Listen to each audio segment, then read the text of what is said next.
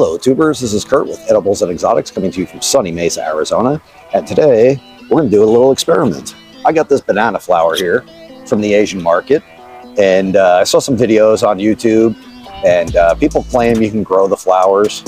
I kind of think it's BS, but uh, a couple of them look pretty convincing. So before I uh, call BS and, and rule it out as not true, we're gonna do a little experiment. So what we're gonna do, I got a ceramic pot here. Uh, the bottom is filled with Sta-Green potting soil and the top is my seed starting mix, which is two parts peat moss, one part perlite, one part vermiculite, and then a little potting soil thrown in.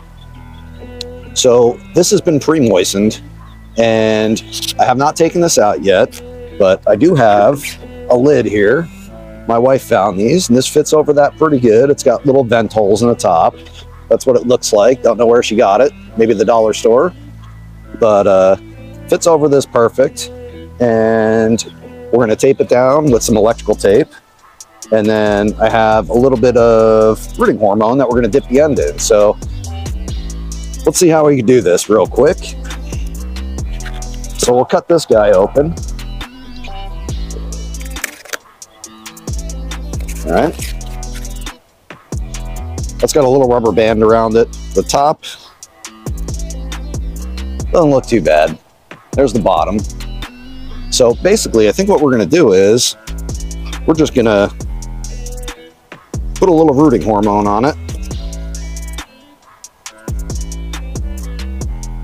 All right. Rub it around a little bit. Get it nice and coated. We're gonna make a little hole. We're gonna just stab them in.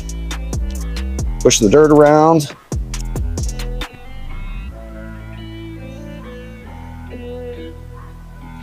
We're gonna cut this rubber band.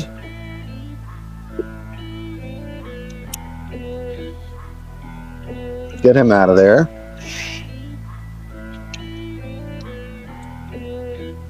Now we're to take this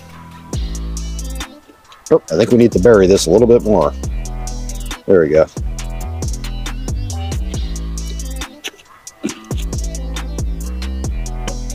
All right, that's on there. We're just gonna put some tape on there just to hold it in place. Just in case. I don't think it's gonna blow off, but you never know.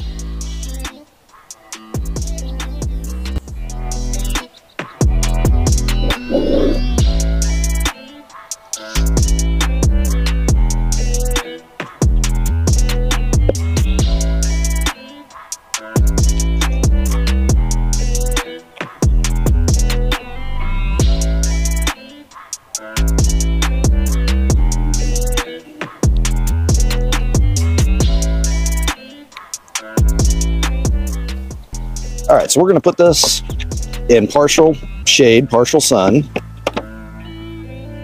and we're gonna let it sit and keep checking back on it, see how it goes.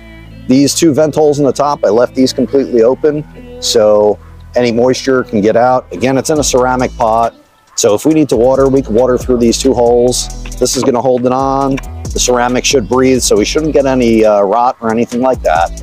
So I'll keep checking back in the next couple of weeks, but uh, supposedly these guys will root out from the bottom and put out pups. So we'll see how it goes. I have my doubts, but you know, for five bucks for a, a banana flower at an Asian market to do a video, yeah, seems like a, a fair enough purchase.